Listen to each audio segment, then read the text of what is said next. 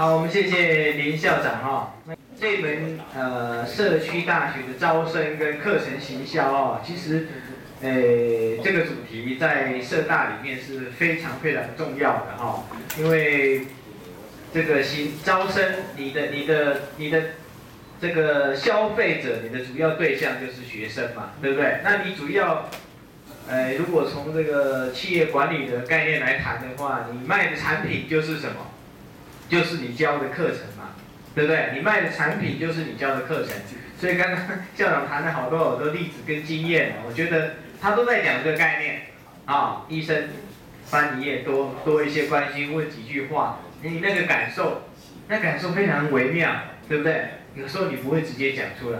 啊。你如果没有跟很熟的人在一起，你通常不会讲那么细，说哎，我为什么喜欢这个医生，我讨厌这个医生。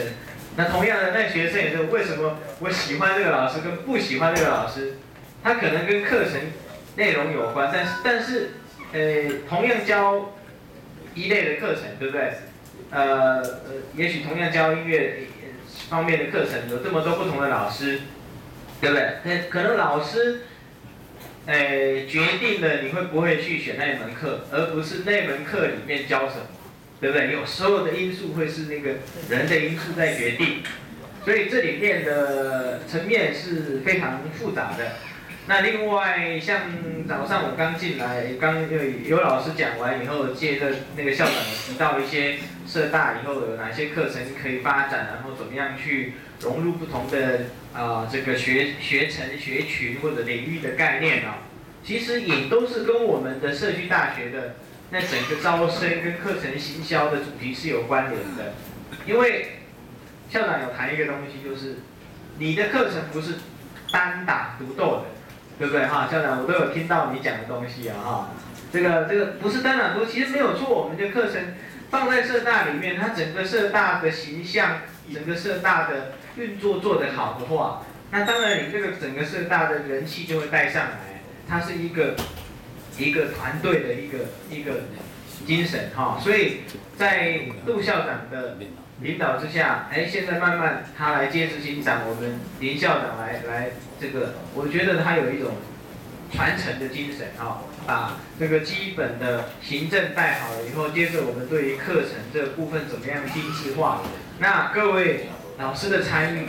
能够进入到这个师资的进阶班哈，我想不是只有拿那个最后那个时数的一个证明而已哈，而是真正能够把，诶我们大家的经验在社大整个实物的操作上面，是不是从诶这个量，不是从值到量，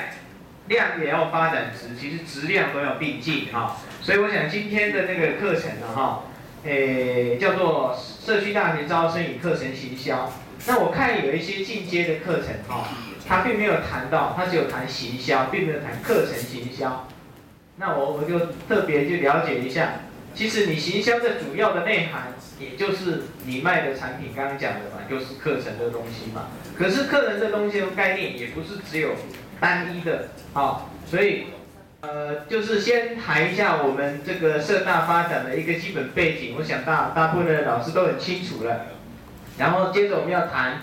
这个从行销的概念谈谈社大的行销组的行销的一些理念啊。这个行销有很多呃，各位可能有一些其其他的这个商业背景也都知道，行销其实每一个人都有基本的呃